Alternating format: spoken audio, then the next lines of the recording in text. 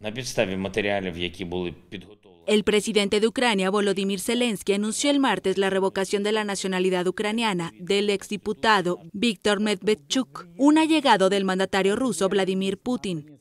El ex legislador, que en 2022 estuvo detenido cinco meses en Ucrania, fue entregado en septiembre a Rusia en un canje de presos entre los dos países. El magnate ocupaba el lugar número 12 entre los más ricos de Ucrania, con una fortuna estimada en 620 millones de dólares, según la revista Forbes.